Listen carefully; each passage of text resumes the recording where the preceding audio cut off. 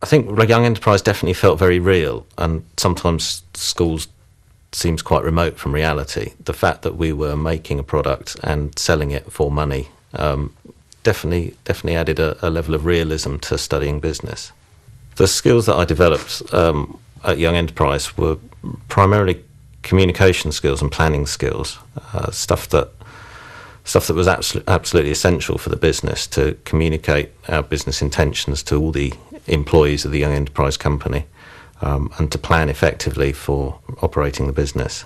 Having our meetings away from the school at um, at our advisors' offices was quite interesting because it gave us a completely different environment to the school environment, and um, I think to a certain extent that added a level of creativity to what we were doing.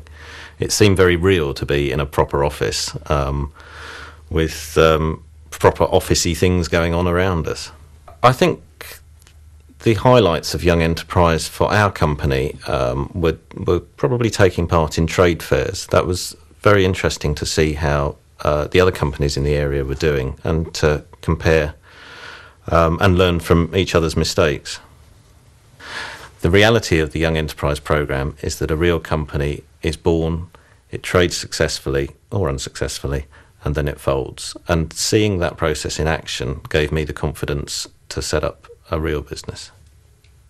The thing I enjoyed most about Young Enterprise was the freedom to um, run a business uh, away from the strict uh, school environment to actually integrate my business studies knowledge and learning um, with the real world and with a very definite objective of running a successful company and returning a profit.